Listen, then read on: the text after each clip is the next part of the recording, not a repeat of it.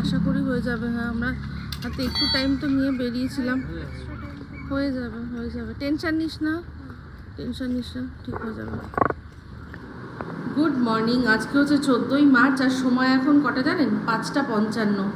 এই এখন আমরা বেরোচ্ছি, আমি আর টাপুর যাচ্ছি। টাপুর পরীক্ষা দিতে যাবে সল্ট লেকে আমরা দুজনে একসাথে যাচ্ছি রেডি হয়েছি। এই দুজনে রেডি হয়েছি আমরা। তো এই জাস্ট বেরোবো, গাড়ি এসে গেছে। মিস্টার দেব আমাদের ওখান থেকে। সি অফ করছে। আর সবচেয়ে মজার কথা, আজকে সব কিছু প্ল্যান মাফিক হয়েছে, তাই না? রনকে আমরা ঠিক করেছিলাম যে ও ভোরবেলায় যাতে ঘুমায়। মানে ও এমনভাবে ঘুমাবে যখন আমি ঘুরে টুরে পুরো চলে আসব, ও বুঝতেও পারবে না। সেরকমই হয়েছে আর আপাতত, ঘুমোচ্ছে ও। তো যাই হোক বাট আজকে আমার bad hair day bad hair day কিছু করার নেই গাড়ি এসে গেছে। চলো তুমি ঘুমিয়ে নাও এখন। হ্যাঁ ঘুমিয়ে পড়ো। হ্যাঁ ঠিক। চলো টাটা। তো এই আমরা কলকাতায় যারা যারা পরীক্ষা দিচ্ছে সবার ওখানে। হ্যাঁ। তো এই যে আমরা দুকা দুকা করে রওনা হলাম। ঠিক আছে। হ্যাঁ অনেক মশা ঢুকেছে। একটুখানি কাজটা করে দাও। বেরিয়ে যাবে। তো এরকম সকালবেলা অনেক দিন দৃশ্য দেখিনি। মানে বারান্দা দিয়ে দেখেছি বেরোইনি অনেক দিন হলো ভোরবেলা। আজকে একটু অন্যরকম লাগছে। ঠিক বেশ কুয়াশা কুয়াশা মতো আছেই আমরা বেরোচ্ছি। এখন এটা দিয়ে আহ, আচ্ছা এটা কিছু পুরো Thank you.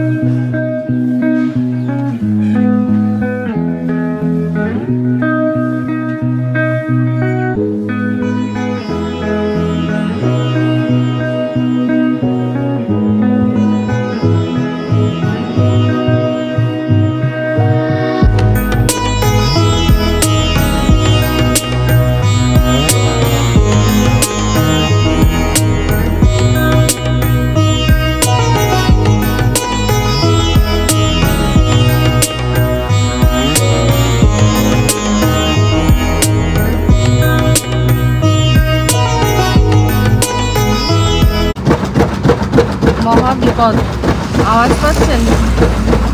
পাংচার হয়ে গেল। এখন আমরা সবই ফ্লাইওভারটা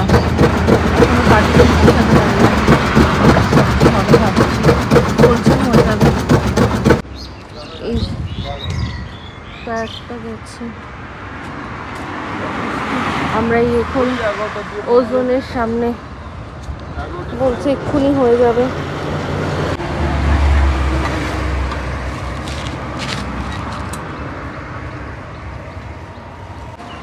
টাপুর গেছে গিয়ে খবর নিচ্ছে যে কতক্ষণ লাগবে।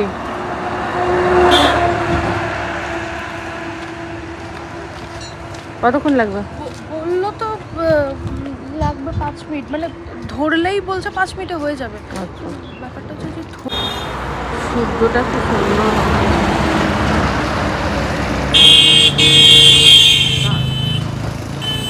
তারপরে টেনশন যতক্ষণ না হচ্ছে টেনশন হচ্ছে।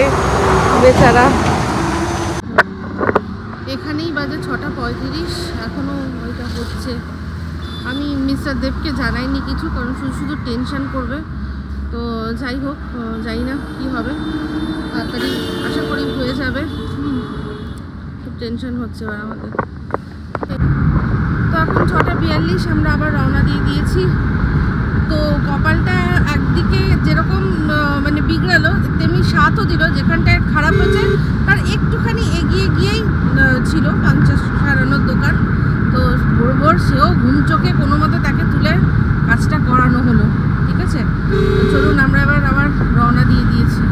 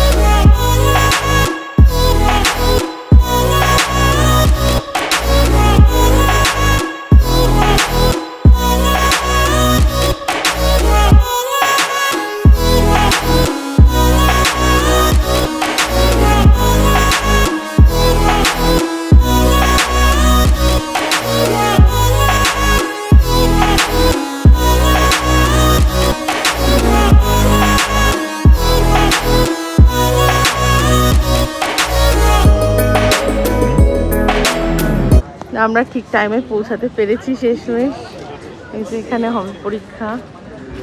টাটা, সাবধানে। মাথা ঠান্ডা রেখে। সাড়ে আটটা বাজে।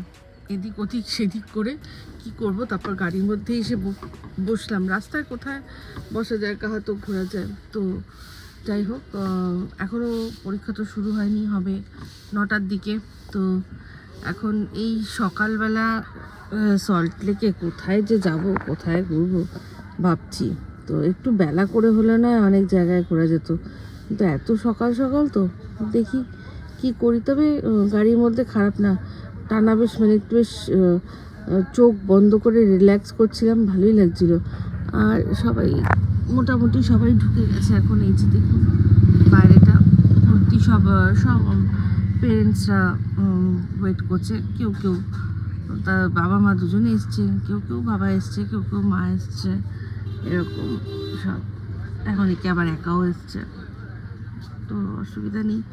আমার মনে হয় কলকাতার, যারা কলকাতারই, তাদেরই হয়তো এখানে সেন্টার পড়েছে। তো কলকাতা থেকে সল্ট লেক কোনোই চাপ নেই। এই হচ্ছে ব্যাপার। ঠিক আছে।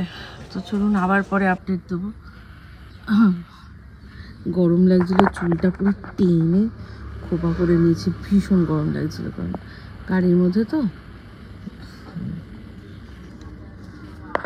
এক্সাম হলের বাইরে একটুখানি এগিয়ে একটা জায়গা আছে এখানে, বসে রয়েছি, বেশ ঠান্ডা ঠান্ডা। তো আবার না ওই টায়ারটার প্রবলেম হচ্ছে, মনে হয় লিক হচ্ছে। তো আমাকে ড্রাইভার ভাই বলল যে মনে হচ্ছে লিক হচ্ছে তাহলে একটুখানি আপনি ওয়েট করবেন, আমি গিয়ে দেখিয়ে আনব। আমি বললাম, না ওয়েট আর কোথায় করব? চলো, আমিও যাই। বলে ওখানে এখানে সামনেই আছে, সেখানে করছে, আর আমি বেশ ভালোই বসে আছি। কিন্তু অনেকেই বসে রয়েছে, বেশ চেয়ার চেয়ার করা, দেওয়া আছে বেঞ্চ মতো করা আছে, সেখানে বসছি। তো কী করব ভাবছি এখন। মানে অদ্ভুত একটা এক্সপিরিয়েন্স এরকম কখনো হয়নি। এই যে বসে বসে টাইম পাস করছি এই মোবাইল ঘেটে আর কি করব।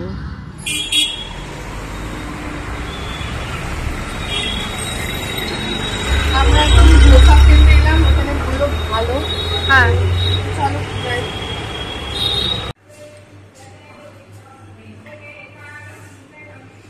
এটা খুব ভালো স্মেল আসছে না? খুব সুন্দর একটা স্মেল আসছে। এখানটা বসেছিলাম তার অপোজিটেই একটা পে অ্যান্ড ইউজ টয়লেট আছে। পাঁচ টাকা নিল যাচ্ছি। জানি এই টাপুরের জন্য ফিল্টার কফি আর এই যে typical South Indian style serving এটা এরকমভাবেই দেয় না? ওরা নতুন মধ্যে। ভালো। কফিটা খাও। ভালো তো এই যে অর্ডার করা হয়েছে থালি এটা একটা। এর মধ্যে কোনটা কি আছে? ধোসা আছে। ধোসা বড়া। হ্যাঁ, বড়া। উপমা উপমা। হালুয়া। হালুয়া। হ্যাঁ। আচ্ছা।, আচ্ছা। আর হচ্ছে এটা হচ্ছে বড়া বড়া। কেমন লাগছে? ভালো আর এখানে একটা এই এই গ্রিন চাটনিটা একটা আলাদা না? এই চাটনিটা এরকম চাটনি সাধারণত খাই।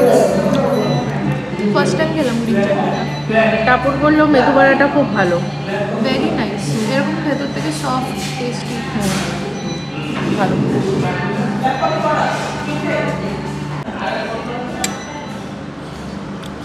কেসার হালুয়া বলল এটার নাম। কেমন খেতে? এটা কেমন খেতে জানো? প্রসাদ দেয় জানো? পুরো প্রসাদের টেস্ট তাই? সেম ইনফ্যাক্ট তুমি যখন মন্দিরে প্রসাদ খাও ওই প্রসাদের উপর ফুল তুলসী পাতা থাকে জানো তো? হ্যাঁ। ওটার একটা ন্যাচারাল ফ্লেভার চলে আসে। হ্যাঁ। ওগুলি সেরকম সেম সেম এরকম আছে। বাহ। ভালো তাহলে ভালো খেতে বল। একটা কপুর কপুর টাইপের বোধহয় আছে আমি ঠিক বলতে পারছি আচ্ছা না। কর্পূর হতে পারে। কর্পূর কিন্তু দেয় খাবারে কর্পূর দেয় আমাদের নাড়ু মানে নাড়ু যখন নারকুল নাড়ু করার সময় অনেকে কর্পূর দেয়। কিন্তু একদম প্রসাদের খা।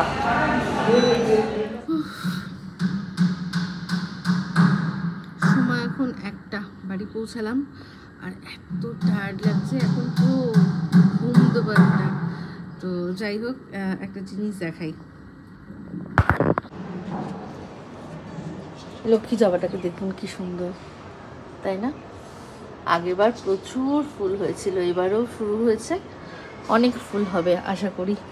কুড়িও রয়েছে আরও তাই না? আর সবাই ঠিকঠাকই রয়েছে। ওই গাছগুলো শুধু শুকিয়ে গেছে ওটা শেষ, ওটা মনে হয় শেষ। ওর দিন শেষ। তো ফিরে এসে দেখি মিস্টার দেব, রন দুজনেই ঘুমাচ্ছে, ঠিক আছে? আজকে কাজ করতে যখন তানজিলা এসছে, তখন তানজিয়া বেল বাজিয়ে বাজিয়ে চলে যাচ্ছে আমাকে আবার। লবি সিকিউরিটি থেকে ফোন করেছে যে, ম্যাডাম, আপনাদের বেল বাজাচ্ছি, কেউ দরজা খুলছে না, আপনারা নেই। তারপর আমি বললাম যে, না, পাঠাও, আমি ফোন করে দিচ্ছি বলে আমি তারপর ফোন করে দিলাম মিস্টার দেবকে উঠে, তারপর দরজা খুলেছে, কাজ করেছে। তো জানি না, এই যে ম্যাগি আছে, হয়তো মিস্টার দেব ম্যাগি খাবে বলে বার করেছিল, খাইনি মনে হয়। না খায়নি আর তো কিছু নেই। তো যাই হোক যাই এখন জামা টামা ছাড়ি। তো এই ব্লগটা এখানেই এন্ড করছি। যদি ভালো লাগে তাহলে অবশ্যই লাইক শেয়ার কমেন্ট করতে ভুলবেন না। যারা চ্যানেলটা সাবস্ক্রাইব করেননি, তারা সাবস্ক্রাইব করে নেবেন। টাপুরের পরীক্ষা খুব ভালো হয়েছে বলল, কিন্তু বলল যে পেপারটা ইজি ছিল, তাই জন্য একটু টেনশন করছে। হুম। তো যাই হোক আশা করি ভালোই হবে, যা হবে।